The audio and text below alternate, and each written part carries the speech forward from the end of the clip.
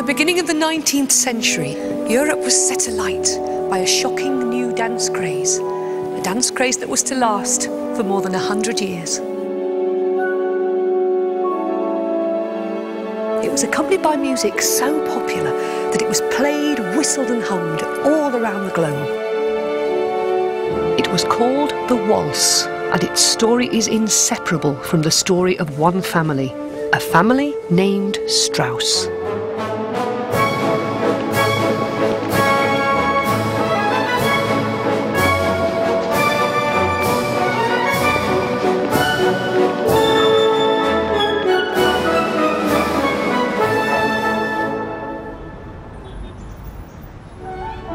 The waltz story is set in Vienna, the 19th century music capital of the world. This is a city where you can hardly turn the corner without bumping into a memorial for some great composer or other. These are the streets where Mozart, Beethoven, Haydn, Schubert, and many more lived, and the musical heritage they left behind still draws millions of visitors to the city every year. But of all the star composers that lived in Vienna at that time, it's fair to say that for sheer popularity, two of them far outshone the others. This man, Johann Strauss, and his son.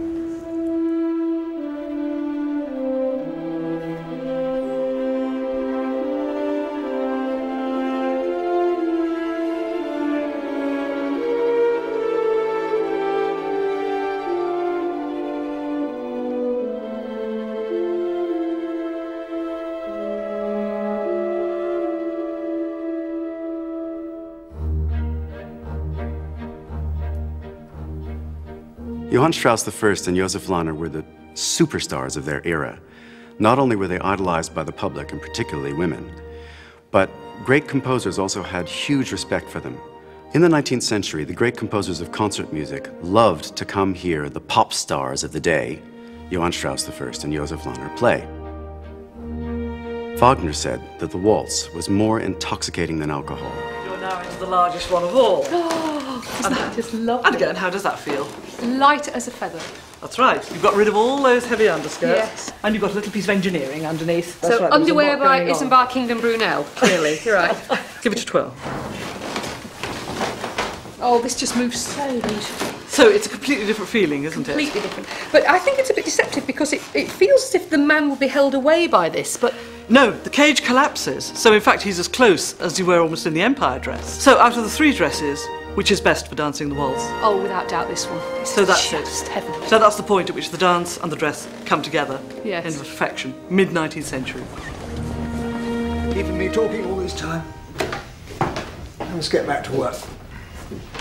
On the waltz. Yes, on the waltz. Play some for me. I'll play if you'll dance.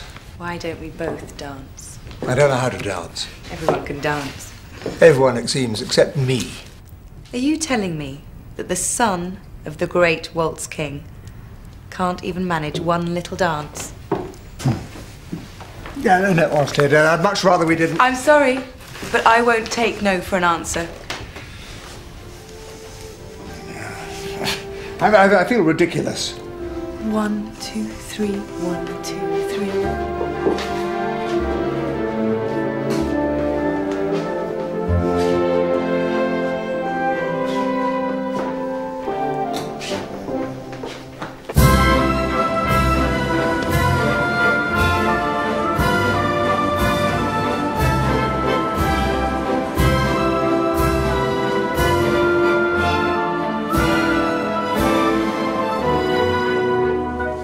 It was thanks to both Johann Strausses that Vienna and the rest of the world waltzed for a hundred years and more.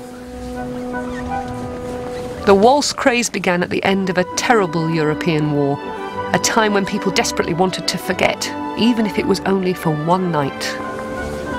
And whatever else you can say about this dance, the waltz is still a wonderful escape.